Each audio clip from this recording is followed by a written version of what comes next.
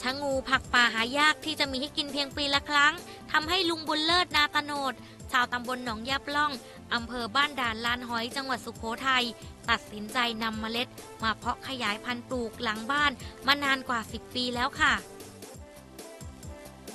ชะงูมีหลากหลายชื่อเรียกขึ้นอยู่กับแต่ละท้องถิ่นค่ะ ทั้งพันงูดอกก้าน บุกอีรอกหรืออีง้อ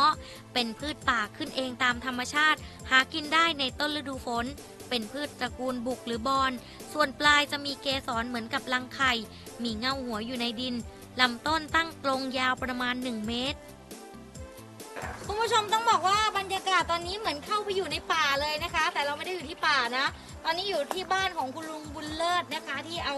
ผักพันงูหรือชะงูเนี่ยมาปลูกนะ เดี๋ยวถามคุณลุงดีกว่าทำไมถึงเอาชะงูมาปลูกตรงหลังบ้านแบบนี้คะคุณลุง ก็เอามาทำเป็นสวนหย่อมแล้วก็เป็นเศรษฐกิจพอเพียงค่ะ มาแล้วก็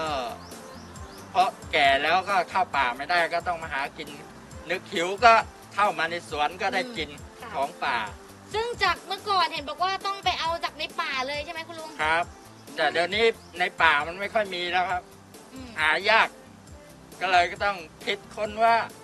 ไงต้องเอามาปลูกในบ้านให้ได้ ก็จะได้เป็น เศรษฐกิจพอเพียง ลุงบุญเลิศจะนำเมล็ดที่แก่มาเพาะโดยใช้เวลา 6 เดือนค่ะ แล้วนำมาปลูกในดินระหว่างนี้ ก็ต้องคอยถอนหญ้าใส่ปุ๋ยคอกปีละครั้ง ส่วนน้ำจะใช้น้ำฝนจากธรรมชาติค่ะ ใช้เวลาประมาณ 3 ปีก็เก็บดอกขายได้แล้วค่ะ จากนั้นก็จะให้ดอกทุกปีในช่วงเดือนเมษายนไปจนถึงพฤษภาคมค่ะ คือดอกดอกมัน ชะงูพันเช่นงูพันพันให้งูนะคะ ตรงนี้เห็นบอกว่าพอดอกมันขึ้นเดี๋ยวต้นมันก็จะเหี่ยวลงตายลงหรือยังแต่มันต้นมันแก่ลงถ้าถ้าเราดึงอันนี้ปุ๊บเดี๋ยวมันจะขึ้นมาเป็นใบเลี้ยงหัวมันค่ะเลี้ยงหัวมัน นั่นแหละ เราพอหัวต้นมันแก่มันก็จะยุบลงค่ะแล้วปีหน้าหัวเดือนหกฝนตก มันก็จะเริ่มแตกขึ้นมาใหม่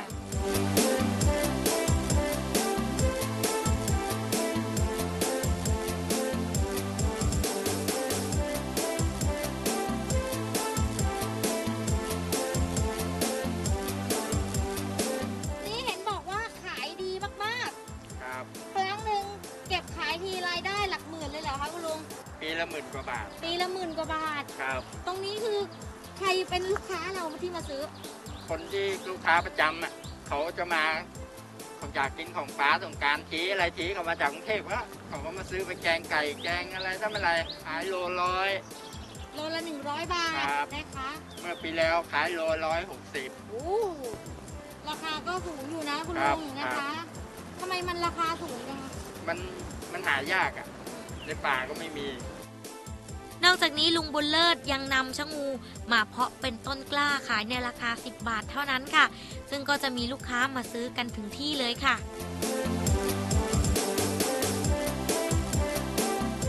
ชมต้นชะงูกันไปแล้ว พามาชิมเมนูพื้นบ้านอย่างแกงชะงูกันบ้างค่ะ เริ่มจากนำชะงูมาลอกเอาเปลือกออก แล้วหั่นเป็นชิ้นๆ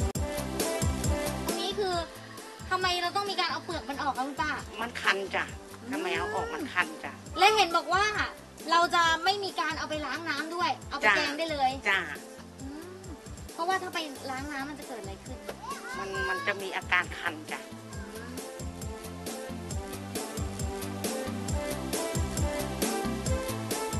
วัตถุดิบในการทำแกงชะงูจะมีเครื่องแกง หมูสามชั้นและชะงูค่ะ ขั้นตอนในการทำ นำหอมมาเจียวให้หอม ใส่พริกแกง เติมกะทินำหมูลงไปผัดให้สุก จากนั้นก็ใส่ชงูลงไป ตามด้วยผักอื่นๆค่ะ ผัดให้ผักสุกแค่นี้ก็เรียบร้อยแล้วค่ะ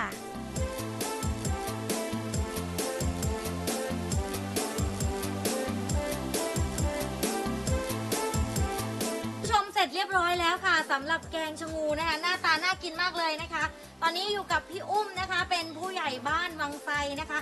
พี่อุ้มเห็นบอกว่าตรงนี้เป็นเมนูพื้นบ้านของที่นี่เลยเหรอคะ ใช่ครับสำหรับแกงชะงู หรือตระกูลตระกูลเขานะครับ มีหลายชื่อเรียกเอ่อหนอว้าหนออะไรต่างๆ แต่จริงๆแล้วอะเขาก็อยู่ในตระกูลบุกนี่แหละ ก็ปีหนึ่งจะได้กินรอบหนึ่งเมื่อก่อนเนี่ยตามในป่าในอะไรเนี่ยเยอะนะฮะค่ะ เอ่อก็เป็น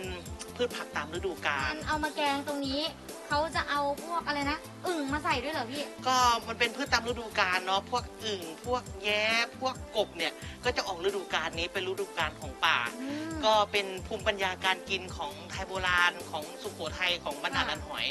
อ่าไอตัวชะงูค่ะ หรือตัวหน่อว้าพวกนี้เนี่ยกินเพียวๆก็ยังไม่ได้ก็ต้องมีอ่ามีเขาก็มีพิษในตัวของเขาก็จะมีคัน เราก็จะเลือกอาบรรพบุรุษเนี่ยก็จะเอาตัวที่ดับพิษมาหักล้างกัน ก็จะมีใบหมักเมาตาควาย หรือหมักเมาหลวงใบเขาจะมีรสเปรี้ยว พอแกงรวมกันเนี่ยก็จะมีรสชาติเปรี้ยวนำแล้วก็จะลดความคันในตัว